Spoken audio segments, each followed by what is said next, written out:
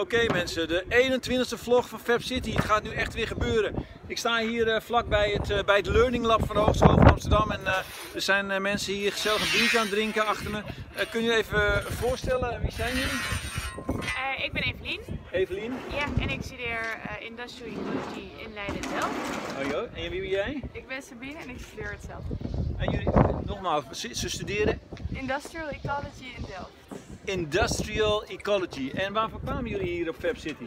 Uh, we zijn gewoon, we wonen allebei in Amsterdam, dus we wilden even zien hoe het hier aan toe ging. Ja. En we waren uitgenodigd door uh, Evolution Office om naar pitches te komen kijken van studenten die uh, twee dagen lang hebben gezeten aan het idee om de stad circulair te maken voor, voor 1000 euro. Dat konden ze winnen.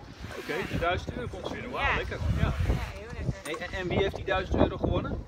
nou, Hemelswater heeft dat gewonnen. Dat is een initiatief om uh, van regenwater drinkwater te maken of uh, bruikbare water te maken. En dat doen ze dan via een soort van membraancel. Okay. En dan kan je dat dus, wat er valt, kan je weer hergebruiken. Terwijl nu is het gewoon nutteloos.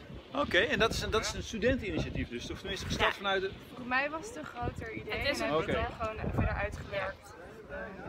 Hey, en uh, ik hoorde, we waren net al aan het praten en jullie hebben ook iets gezien over uh, het, het, het, daten via elektriciteit. Ja, daten nou ook weer niet. Oh, dat kan okay. altijd een optie, maar ja. het is dus een e-hub. Dus het idee dat je het opladen van een elektrische auto gewoon veel socialer en leuker maakt. Want het duurt natuurlijk wel even, vier ja, uur ja, of zo. ja.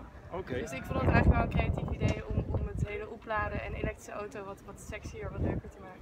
Oké, okay, en hoe, dat was de e-hub? E-hub, maar die heeft niet gewonnen. Die heeft niet gewonnen, maar nee. die, zijn, die zijn wel bezig om ook een businessmodel voor hun uh, nou, voor idee mij, te ontwikkelen. Ze hebben nu dus geen 1000 euro gewonnen, dus volgens mij gaan ze nu, gaan niet, ze nu niet meer door. Oké, okay. nee, gaan ze wel Nou, Dan moeten we nog even uitzoeken. Nou, dank jullie wel. Nou goed, uh, ja, zo zien we weer de, deze leuke meiden kun je hier gewoon ook ontmoeten zomaar in het wild op Fab City. Dus nog een reden om te komen naar Fab City. Tot gauw!